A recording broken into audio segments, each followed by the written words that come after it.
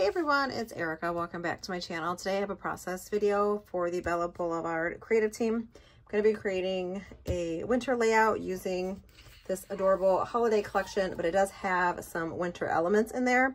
I already have this cut file backed. This is from um, the cutouts, and so I thought that I would go ahead and use this because it was sitting in the box with the collection.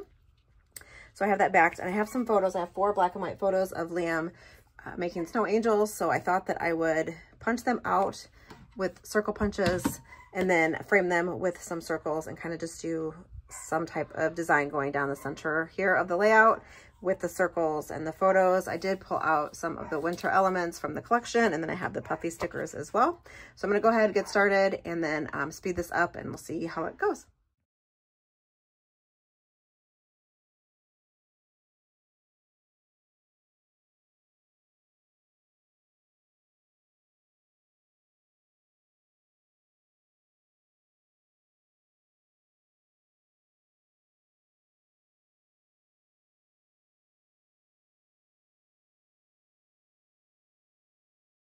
Okay, so I have a piece of white textured cardstock trimmed down to 11 and a half by 11 and a half, and then matted it onto two pattern papers from the Bella Boulevard collection. So this um, darker teal color is 11 and 3 quarters by 11 and 3 quarters, and then matted on to the 12 by 12. The cut file is uh, adhered in the center of the layout, and then I have some stitch circles that I die cut um, the stitch circles, I believe, are from Echo Park, and I'll link them below. And then I just have my photos matted and then put on those. So I'm going to lay them out some way on the layout. And then I did die cut some smaller circles that I will place around the layout as well. And then uh, go in and add different um, embellishments around the page. Then I do have the puffy stickers and then the um, epoxy stickers. And then I do have some die cuts that I do want to add around the layout as well. And then I will add something with the letter scramble alphabet stickers. I'm not exactly sure what I'm going to put or where I'm going to put it. I might just do maybe something around each little circle, but I know that I want to add those in as well. And then um, come in with some of these die cuts and just kind of place these around the layout in different places. I pulled out a bunch of different um, die cuts. I love this Freezin' season, so I might put that there in the center of that circle. And then I do have some Christmas trees and some florals that um, I'll kind of play around with as well. Just some different, here's some more little circles that I can place there. There are these little snowflakes that I will probably put around the page as well.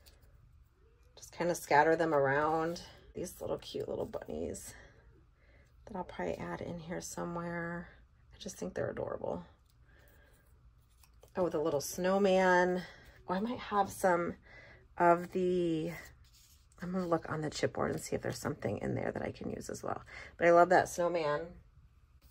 And I was hoping there was a blue tree in here, but there's not. It's just green, which is totally fine.